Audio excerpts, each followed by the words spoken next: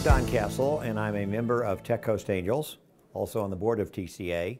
And in addition to that, I and a group of other individuals provide free consulting for startup high growth companies at TriTech SBDC. And it's free because our time and effort are paid by the Small Business Administration. Okay. Um, so we'd like to ask you about in preparing to raise capital, how much time and effort should an entrepreneur devote to the process? Well, Chris, the real interesting answer to that is that the capital is the absolute lifeblood of the entrepreneur and his or her startup company. And therefore, how much time and effort should be spent on what's going to be your lifeblood? And the obvious answer is a great deal. Now, let's get a little more specific, however, in answering that. The time and effort in preparation is fortunately one that can be helped, supported, and amplified by a lot of resources that are out there that don't cost any money. There are sources on the internet, there are sources in vis visiting with angel groups.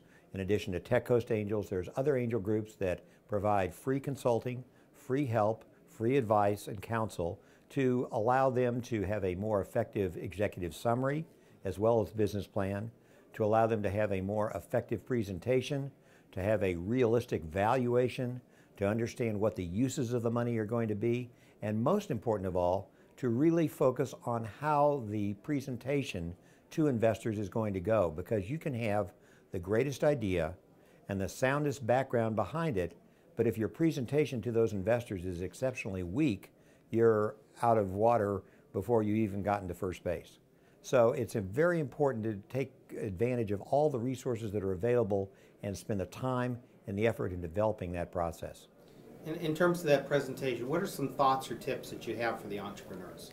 Well, first and foremost, you need to understand the audience to whom you're presenting.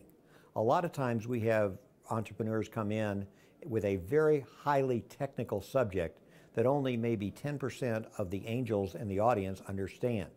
And yet, these angels are bright individuals that the other 90% I'm talking about, and many times I'm in that 90% group, we can write checks, we do write checks, but you just need to explain it to us in a less technical manner. So number one is be specific and be more general in your uh, explanation so that all can understand.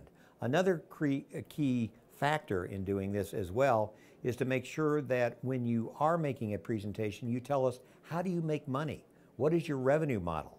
And also explain what the pain is that you're addressing and how your approach is unique, better, cheaper, faster, more effective, whatever, than the competition because we clearly want to know that the check we're writing to that company is going to be a lot better than it would be if we went to a competitor.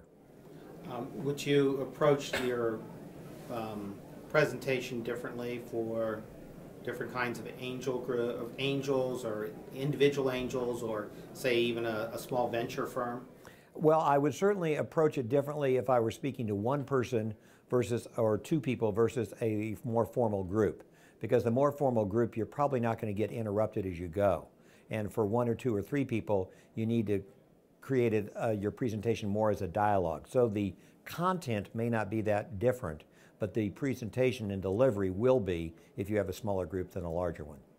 And when going out making this presentation, how many times is sort of the magic number? I mean, people do it five times, 10 times, 50 times? Well, the, the, the quick answer to that, Chris, is they do it as often as it takes, or as frequently as it takes to get the money. Right. But in reality, there unfortunately is a high degree of rejection in the entrepreneurial world.